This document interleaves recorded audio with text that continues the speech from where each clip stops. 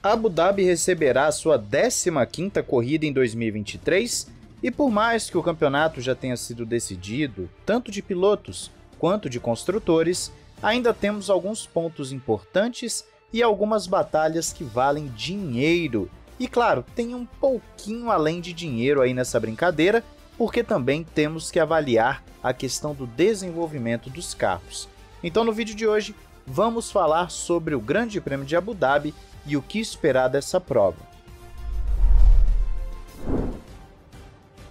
Olá, amigo do Ressaca Fórmula 1, seja bem-vindo a mais um vídeo. Eu sou Matheus Pucci. Vamos começar pelo básico. O traçado de Asmarina foi reduzido em 2021, retirando algumas curvas, fomos de 21 para 16 curvas e perdeu aí cerca de 300 metros.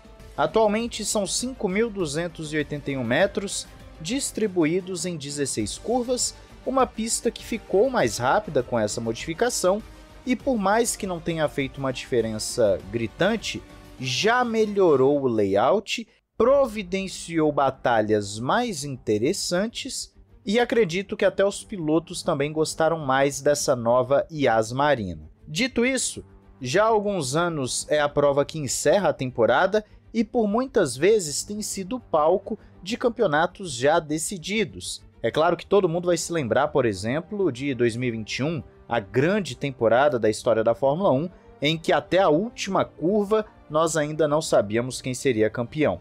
Então, o que está ainda em jogo para esse grande prêmio, tanto no campeonato de pilotos quanto no campeonato de construtores? Falando de campeonato de pilotos, conforme a tabela que você confere na sua tela, temos ainda uma boa disputa pelo quarto lugar. Carlos Sainz e Fernando Alonso estão empatados com 200 pontos, enquanto Lando Norris tem 195 pontos. Charles Leclerc está um pouquinho mais atrás, dificilmente consegue entrar nessa briga, só se os outros três abandonarem e o Leclerc vencer a prova. Mas nessa batalha, diria que Norris e Sainz saem com uma vantagem muito forte em relação a Fernando Alonso, pelo simples fato de que são carros que evoluíram mais do que a Aston Martin principalmente a McLaren. Tiveram um final de semana ruim sim na prova passada, mas ainda assim vejo a McLaren como favorita a estar à frente da Ferrari do que o contrário. Por isso essa é uma batalha interessante de se ver, o que selaria de vez o grande desempenho dos laranjinhas desde a Áustria, que tem sido a maior virada de performance da história ou uma das maiores, caso tenha alguma perdida aí nos arquivos da Fórmula 1.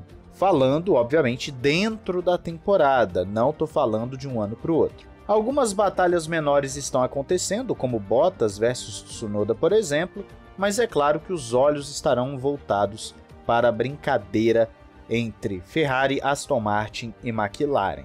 Já no campeonato de construtores é onde a nossa conversa fica um pouquinho mais interessante. Por quê? O vice-campeonato ainda está em aberto, porém por mais que a gente não esteja conversando sobre campeão, também temos que dizer que aqui vale muito dinheiro e além do dinheiro temos um ponto importante. Se numa circunstância normal terminar em segundo é melhor do que terminar em terceiro, na Fórmula 1 atual, talvez terminar em terceiro não seja tão ruim assim. Isso porque Mercedes e Ferrari são equipes que já recebem muito dinheiro, não têm problemas financeiros, então um pouquinho de dinheiro a mais ou a menos não vai fazer tanta diferença assim.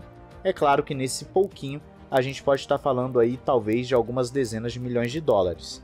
Só que nessa brincadeira pelo vice-campeonato, nós temos que lembrar que existe também um escalonamento de desenvolvimento, que passa por túnel de vento e CFD, que seria a parte digital da brincadeira.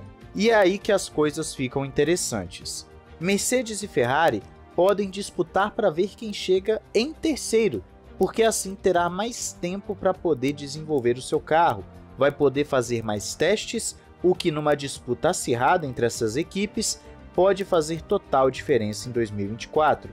Além daquele fato que já citei várias vezes para vocês, que se a Red Bull conseguir melhorar 20% para o ano que vem, as outras equipes precisam melhorar 40, 50 para poder disputar cara a cara com a Red Bull algo parecido com o que a McLaren fez nessa temporada. Então estamos falando de uma situação que é um pouco mais complexa.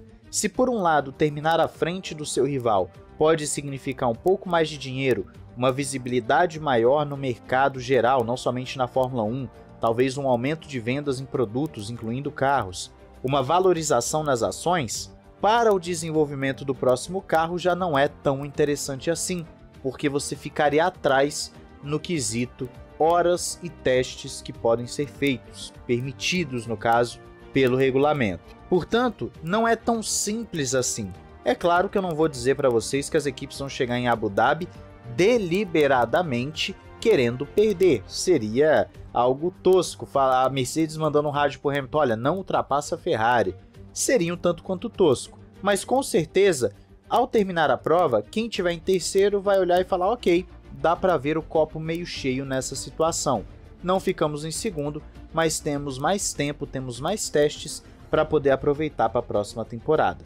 Então o Grande Prêmio de Abu Dhabi vai além de simplesmente um encerramento comum da temporada. Nós temos a batalha pelo vice-campeonato, nós temos também uma pequena batalha rolando entre Williams e AlphaTauri e também entre Alfa Romeo e Haas, apesar que eu acho muito difícil ter alguma mudança nessa brincadeira, por uma questão simples de que essas equipes não costumam marcar muitos pontos num único final de semana.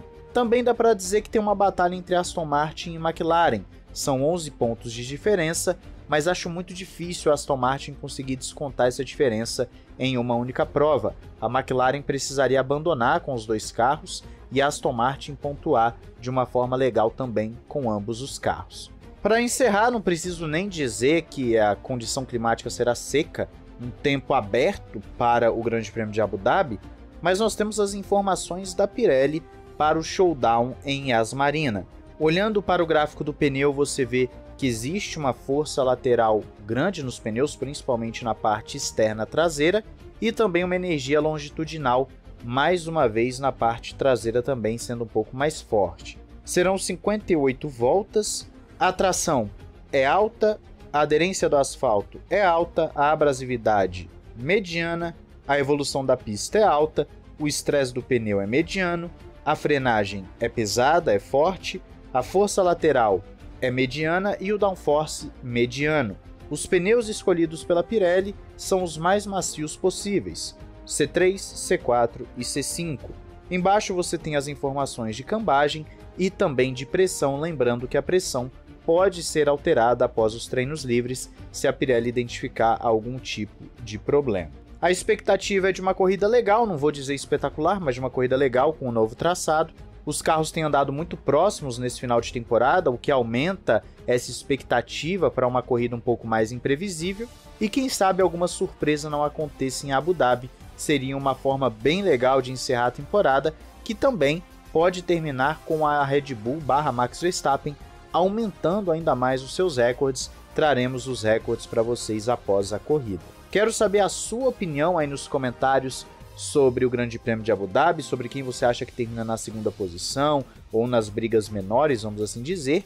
E também te convido a comprar seus jogos e gift cards pelo link na descrição da Instant Game, além de participar diretamente do sorteio de um excelente notebook gamer da Asus. Um grande abraço, valeu e falou!